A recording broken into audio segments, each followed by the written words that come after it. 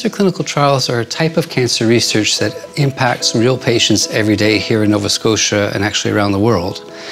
There are research programs that are aimed at finding the next best treatments for cancer, the safest treatments. Uh, they can be trials comparing different treatments, all designed to make sure that we have access to the best treatments possible and that cancer medicine continues to progress. So really clinical trials is a way that basic science research gets translated into real patient care. So all patients on a clinical trial are patients within the cancer center.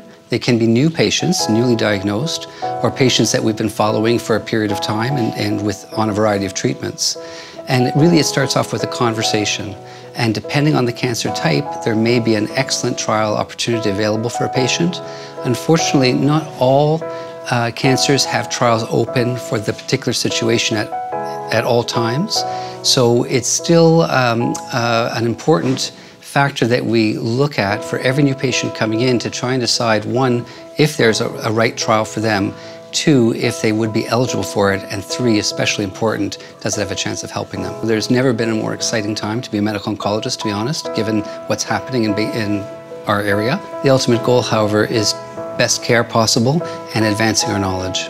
And so the work we do is actually very much part of an entire global process. So many of the trials we do are also being run at other centers in Canada, in Europe, in fact, around the world. Um, we're often selected as a priority site in Canada because of the, of the uh, quality of the work we've done here in clinical trials. All the information gets fed into um, the global database and that information with appropriate follow-up and when the end results are clear leads directly back into potential consideration of funding or access for a new treatment or medicine.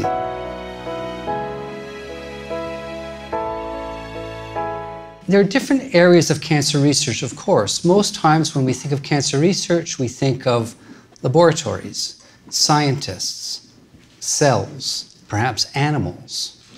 We don't always think of research involving people, patients, our neighbors, our sons, our mothers. Clinical trial cancer research is where all the brilliant ideas in the lab actually have a chance to help people. So clinical trials are studies testing new treatments, new ways of giving treatments, or new types of treatments, comparing them to our current treatments to see if one is better than the other.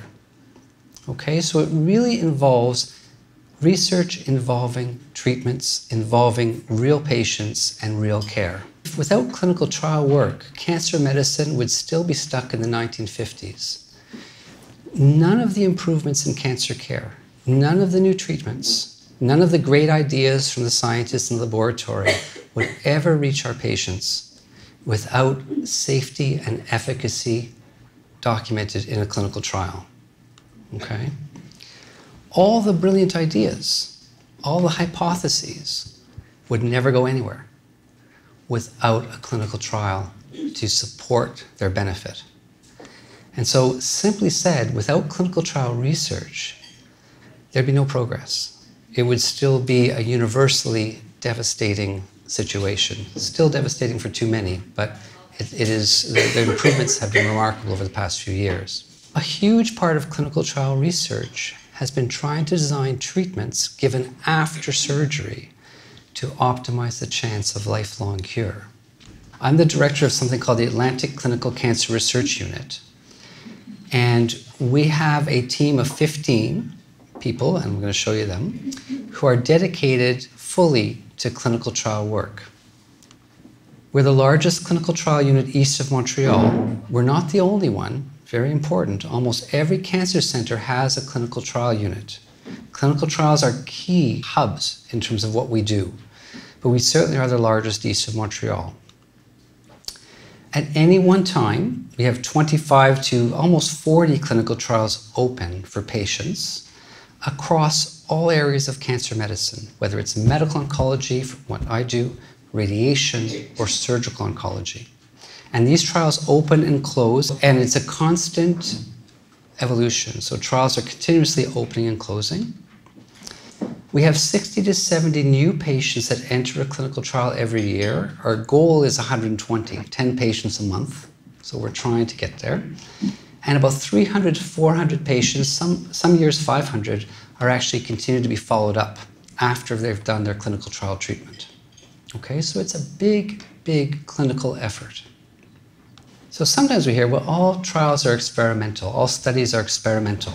I don't want to be a guinea pig, which is totally understandable. But very important also to realize that in order for anything to actually become a clinical trial, there's typically years of work. There are multiple organizations, government, regulatory, health authority, that approve a clinical trial going forward.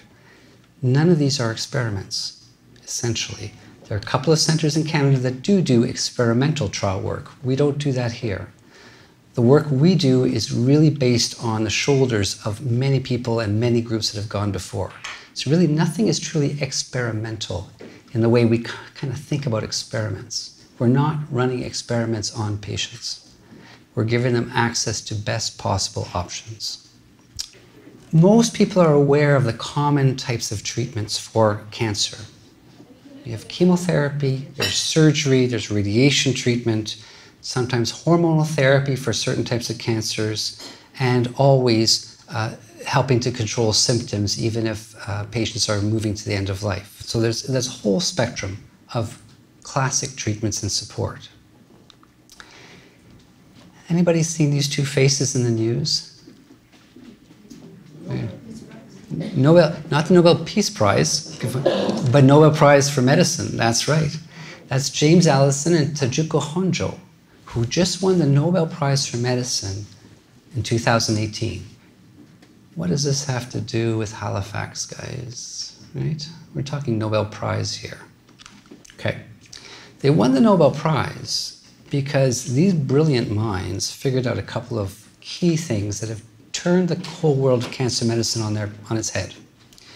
So this beautiful picture, the nasty looking cell is a cancer cell.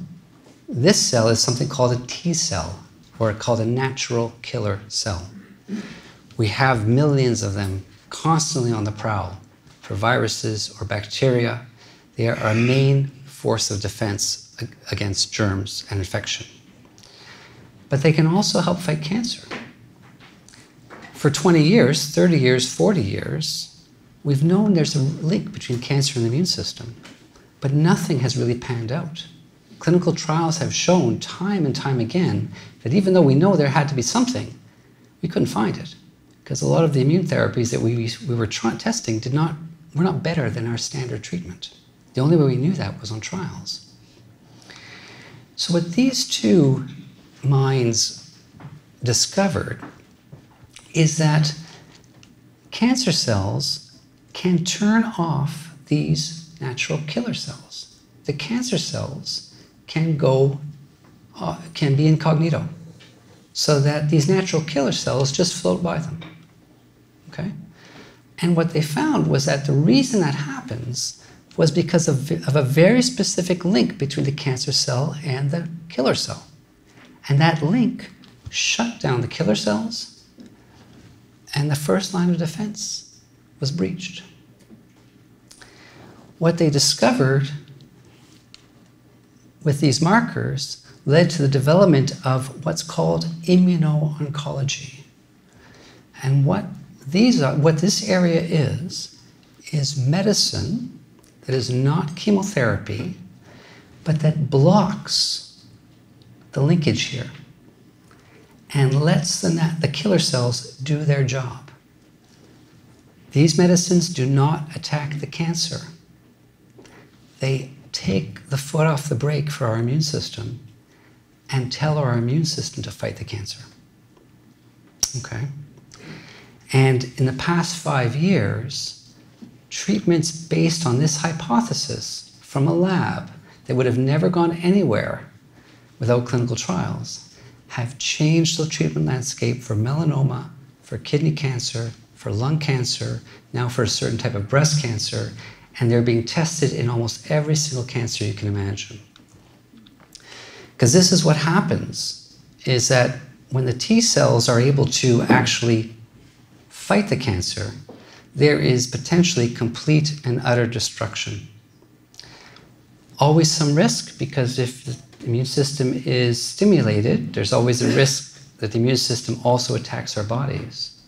So it's not uh, a magic bullet for everybody, and some patients do have side effects that force us to stop treatment with the immune therapy. The vast majority tolerate it very well, and the outcomes are better than ever uh, before in terms of for certain diseases. Clinical trials are a key element of cancer care, not just in the sort of global sense, not just uh, in terms of science, but for real patients on the ground here that we see every day. I had a clinic this morning. Three of my patients were, that I saw this morning were on a clinical trial. Okay, so these, this is real research. This is real time science. And it brings the best clinical research programs to Atlantic Canada.